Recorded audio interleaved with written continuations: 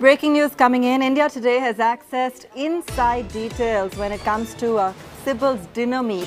Insiders say that senior Akali Dal leader Naresh Gujral during the meet said that if the Congress wants to uh, revive itself, then it has to look beyond one family.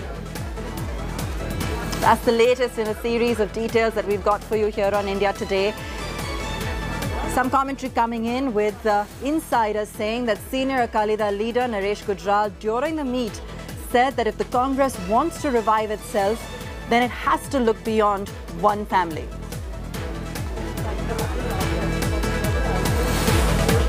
Mausami Singh joining us uh, live on that story.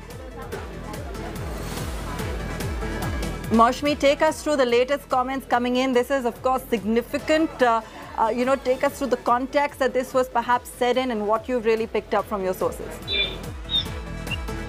You know, very interesting that the, there were uh, senior veteran opposition leaders who were present and the discussion was happening on uh, how uh, the opposition could in fact unite to corner the BJP and then uh, the discussion uh, actually led on to the fact that uh, the state of affairs in the Congress party because Congress being the only pan-India party with maximum presence in uh, multiple and, and that's one reason that uh, there were leaders who expressed uh, their concern over uh, the condition of the Congress party. And uh, and thereby, you know, uh, we've learned from our sources that Naresh Gujral from the Akali Dal, who was also invited in the dinner, was more blunt and open and he uh, was open in his remarks saying that uh, if the Congress party needed to revive itself and make it stronger, uh, make itself more stronger, then it really needed to look beyond a family uh, without even mentioning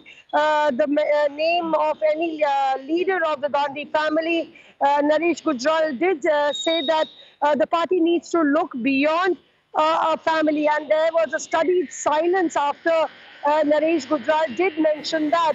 But uh, overall, you know, it All is right, a very, very challenging.